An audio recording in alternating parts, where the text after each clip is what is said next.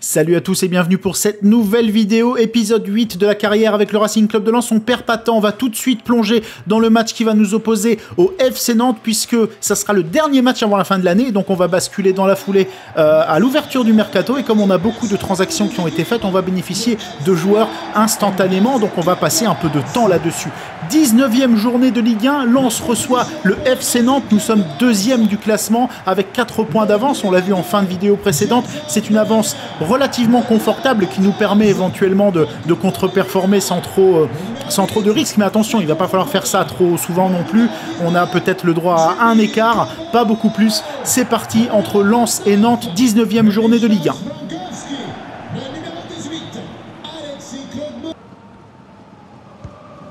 Quatrième minute de jeu des Lensois qui monopolise le ballon avec Jimmy Cabot sur le côté droit qui va tenter le centre. C'est dégagé de manière spectaculaire par Nicolas Palois. Mais attention, Jean Onana qui se bat. Wesley Saïd. Oh, Wesley Saïd, le contrôle. Le contrôle magnifique et la frappe de Wesley Saïd. L'enchaînement est absolument parfait. C'est un but de très haut niveau. L'attaque Lensois qui est en pleine bourre actuellement. Alors on a David Datro Fofana qui va arriver dans quelques jours. Mais Wesley Saïd lui envoie déjà un message en lui disant attention mon bonhomme, moi je suis là, j'ai mes habitudes je suis en forme. Regardez cet enchaînement, superbe contrôle et l'enchaînement avec la frappe, c'est imparable. Le gardien nantais ne peut rien y faire. 1 à 0 pour le Racing Club de Lens en tout début de match. 33e minute de jeu, les Lensois toujours à l'attaque. Jean Onana qui transmet à Seko Fofana qui est tout seul à 18 mètres qui tente de frapper le bel arrêt de Petric. Bon, bel arrêt, pas très compliqué non plus. C'est un arrêt pour la photo et c'est la mi-temps entre les deux équipes. 1 à 0 pour le Racing Club de Lens sur un éclair de génie de Wesley Saïd en tout début de match. Ensuite, on a été dans la gestion. Les Nantais sont très timides. Pas beaucoup de propositions de la part des joueurs euh, de Loire-Atlantique. Une première mi-temps de professionnels, une première mi-temps maîtrisée. Lens, Nantes 1 à 0.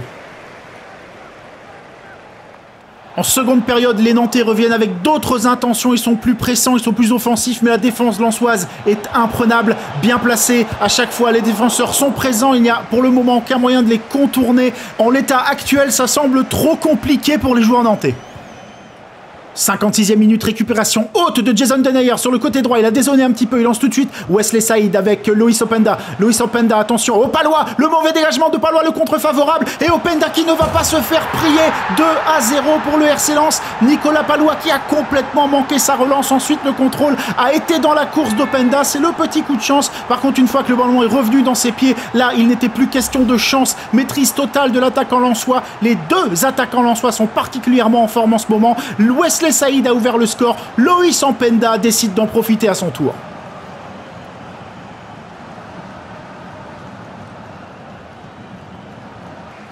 Les Nantais qui sont très certainement bien inférieurs aux Lensois en l'état actuel des choses sont quand même pleins de cœur et tentent du mieux qui leur est possible. Et voyez le très bon positionnement de Kevin Danso et rien ne passe actuellement. Les Nantais se cassent les dents sur une défense lensoise efficace en place. Bref, dans ce match, pas grand chose ne semble possible pour les mettre en défaut. Pourquoi pas un coup de pied arrêté, corner, la bonne tête de Ganago, mais sans le moindre problème pour Brissamba.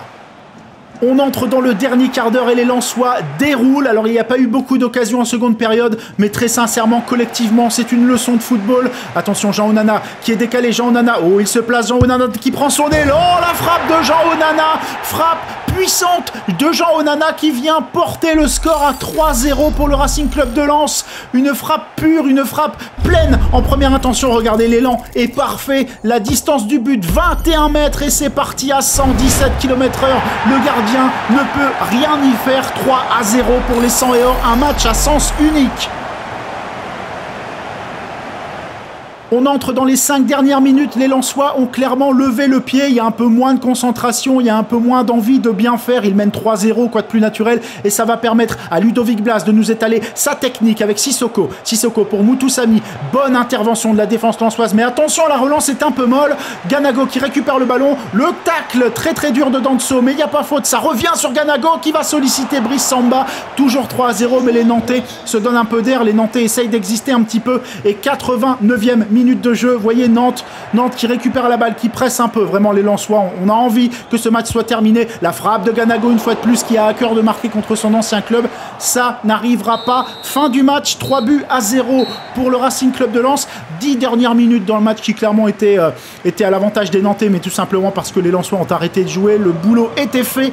3 buts à 0, victoire franche, victoire nette. Le public de Bollard est plutôt gâté en ce moment. On sait que dès qu'il y a un mauvais résultat, ça siffle plutôt fort à Bollard. C'est un public exigeant. Ce soir, ils sont ravis, c'est certain. Allez, le moment des transferts est venu. On est le 1er janvier, donc il y a trois arrivées Rouault, Fofana et Pembele qui ont été actés dès fin août. Donc ça, vous les savez déjà. Denayer nous a rejoint aussi en fin septembre. Et là, on voit Kakuta qui est parti, Sotoka qui est parti, Steven Fortes qui est parti. C'est une révolution à Lens. Jonathan Grady qui s'en va aussi, David Pereira da Costa qui s'en va aussi, Ismaël Boura le départ est acté aussi et Jean-Louis Leca pour fermer la danse. Et voici les arrivées. Nico Melamed, Quentin Timber, Elliot Matazo. Voilà pour les arrivées à Lens. Alors au niveau du budget, vous voyez qu'on a fait des belles opérations puisque nous avons gagné 31 millions 900 000, donc quasiment 32 millions avec les ventes que nous avons fait et on va avoir un budget dépenses de 26 millions. C'est-à-dire qu'on a à peu près 5 millions de bénéfices sur tous les mouvements qui ont eu lieu, sachant que les trois quarts des joueurs qui sont partis sont des joueurs d'expérience, qui commencent même à être plutôt âgés, des joueurs sur le déclin, et on a recruté en grande majorité des jeunes qui ne vont pouvoir qu'exploser à fort potentiel. Donc ce sont des opérations qui pour moi sont positives. On voit ces arrivées mises en valeur euh, au travers euh, des cutscenes de eSport et de FIFA. Pour le moment, cette saison-là s'annonce plutôt pas mal et on va directement voir ça avec la réception de Clermont. Vous voyez un petit peu ça, c'est l'équipe New Look.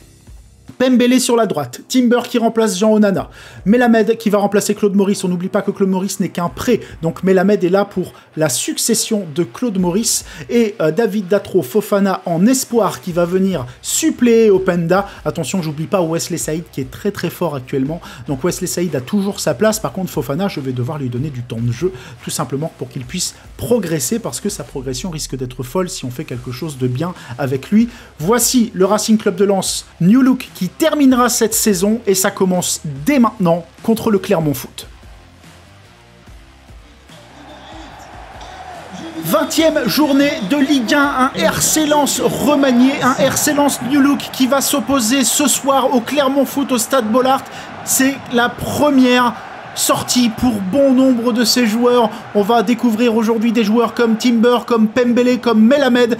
Et à la deuxième minute de jeu, les Lensois qui passent à l'offensive instinctivement dès le départ. Il s'agit de montrer un petit peu ce qu'on va être capable de faire. La première partie de saison par l'équipe initiale a été plutôt très correcte, elle a même plutôt été très bonne. On est actuellement dans une phase de reconstruction et c'est Melamed qui va être le premier à allumer la mèche sans souci pour le gardien clermontois. 15e minute de jeu, récupération de Frankowski. Les Clermontois avaient attaqué en nombre, du coup ils sont très déséquilibrés en défense. Et Frankowski qui va faire la différence tout seul. Il a vu Fofana, David Atro Fofana pour sa première. Oh la faute, carton, rien du tout. Alors potentiellement ça pouvait être un rouge pour le défenseur clermontois, mais non, l'arbitre n'a même pas sifflé faute. 20e minute de jeu, Clermont qui sort la tête de l'eau. Kawi, Kawi qui a du champ devant lui, Kawi qui avance, il met la balle à Grey John Kay qui temporise, qui transmet à Dossou. Dossou et l'arrêt de classe internationale de Brice Samba. 0-0 entre les deux équipes. Quel arrêt du gardien Lensois. Clermont est agressif et Clermont attaque en nombre et ça les Lensois l'ont bien compris. Alors on procède en contre. Mais la et Openda qui semble avoir déjà une belle entente sur le terrain. Mais la qui a lancé Openda. Openda qui va arriver en 1 contre 1 il va très certainement ouvrir son pied côté opposé. Openda qui bute sur le gardien clermontois. Grosse occasion pour les 100 et or 0-0 à la mi-temps entre Lens et Clermont, les 100 et or qui affichent déjà quelques belles dispositions, quelques beaux automatismes, mais on ne peut pas oublier qu'une bonne partie de l'effectif a été revue, ça va pas venir comme ça, et Clermont, pour sa part, est venu en conquérant, ils sont offensifs, ils sont venus en masse pour essayer de prendre des points, et leur agressivité empêche les Lensois de déployer leur jeu, on se retrouve en seconde période. 51e minute de jeu, l'animation offensive et l'ambition offensive de Clermont leur joue des tours. Les Lensois le comprennent depuis le début du match. On se projette vite vers l'avant. On sent très bien qu'ils ont du mal à se replacer parce qu'ils montent extrêmement nombreux. Et c'est Kofofana qui fait la différence. Voyez le trou. C'est Kofofana qui va s'engouffrer dedans. C'est Kofofana qui arme pied gauche. Et la frappe fantastique de Seko Fofana, le capitaine du Racing Club de Lens, qui envoie une énorme frappe pied gauche côté opposé pour battre le gardien de Clermont. Et voilà, il fallait tout simplement attendre le bon moment. On revoit cette frappe absolument merveilleuse de Seko Fofana qui vient contourner le défenseur et mourir dans le petit filet clermontois. 1 à 0 pour le Racing Club de Lens. Le plus dur semble être fait.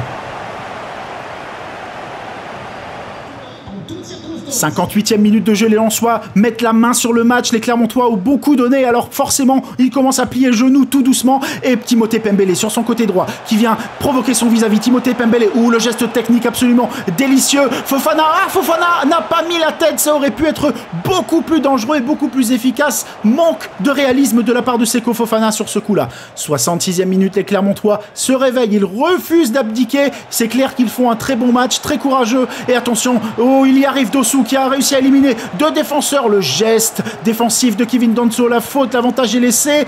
Gonalon, Gonalon qui la met sur Kawi. Kawi qui retrouve Dossou. Dossou qui est scellé et but de Dossou pour Clermont. On l'a pas forcément vu venir. Alors certes, l'action part de lui et l'action termine par lui. C'est une action absolument fantastique que que l'attaquant clermontois peut mettre à son actif. Clermont 1, lance 1, le retour des Clermontois dans un match jusqu'alors dominé de A à Z par le Racing Club de Lens. Quelle leçon de courage les Lençois ont été piqués au vif, on est dans le dernier quart d'heure et ils vont essayer de mettre leur dernière force dans la bataille pour arracher cette victoire. On sent bien cependant qu'il y a un peu moins d'enthousiasme, même si la Dembélé le centre est bon, la tête est jolie mais absolument pas dangereuse. Les Lensois qui n'arrivent pas à trouver la solution, les Lensois qui ont été mis un peu KO par cette égalisation de Clermont et on en reste là un partout. Première contre-performance pour ce nouvel effectif sans et or. Alors Bollard qui siffle, Bollard a l'air de, ne pas trop réaliser la, la saison qu'on réalise jusqu'à présent et c'est bien dommage. C'est comme ça, malheureusement, on va faire avec. J'espère que les nouveaux joueurs ne seront pas trop intimidés par ça. Toujours est-il que le chemin est encore long. Un point contre Clermont, certes, c'est deux points perdus, mais c'est loin d'être terminé.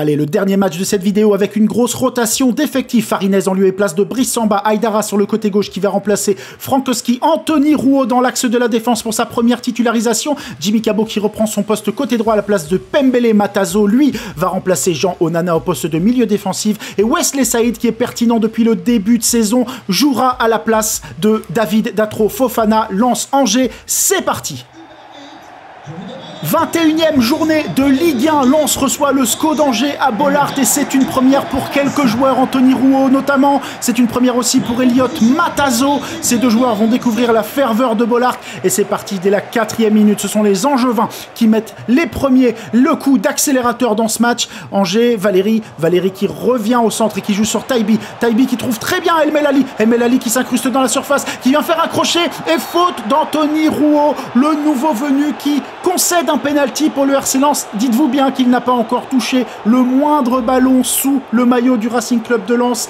et c'est déjà un penalty de siffler contre lui. Et eh bien dis donc, quelle entrée en matière absolument cataclysmique pour l'ancien Toulousain de 21 ans. La responsabilité de ce penalty en un combat Nabil Ben Taleb, le numéro 6 en juin. Ben Taleb qui prend son élan, il regarde Farinez. Ça va partir où? C'est plutôt centré. L'arrêt de Farinez, le ballon revient sur Ben Taleb qui ouvre le score en deux temps. Dommage pour le Racing Club de Lens. Farinez avait fait le boulot, mais Ben Taleb bien placé qui peut la pousser dans le but vide.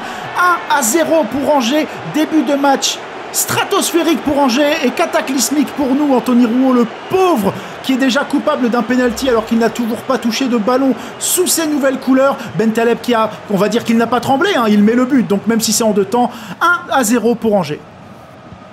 12e minute de jeu, on entend, on attend pardon, la réaction du Racing Club de Lens avec euh, Onana. Onana qui va pouvoir décaler tranquillement Wesley Side. Wesley Side qui avance progressivement. Il a vu, il a vu Jimmy Cabot, mais non, il préfère passer par Openda. Jimmy Cabot qui est tout seul sur son côté droit. Jimmy Cabot qui tente une frappe et c'est pleine lucarne. La frappe absolument géniale de Jimmy Cabot. Alors oui, on le sait, Jimmy Cabot qui était un petit peu embêté avec l'arrivée de Timothée Pembele qui était clairement là pour lui prendre son poste. Quoi de mieux qu'une concurrence pour pouvoir révéler le vrai niveau des joueurs Jimmy Cabot depuis le début de saison qui n'a absolument pas su faire ce genre d'action. Et là, Jimmy Cabot, regardez, la superbe frappe pied droit côté opposé, c'est imparable. Les Ansois qui égalisent avec ce but absolument magnifique de Cabot. On remet les cartes sur la table.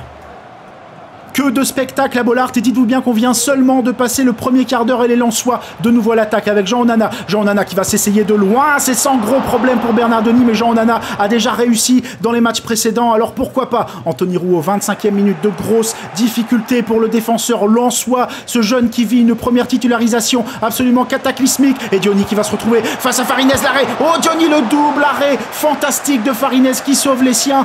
Anthony Rouault en très grande difficulté, c'est très compliqué compliqué pour ce petit jeune. Il est responsable du penalty euh, concédé en tout début de match. Et puis là, il a failli coûter le deuxième but en juin juste avant la mi-temps.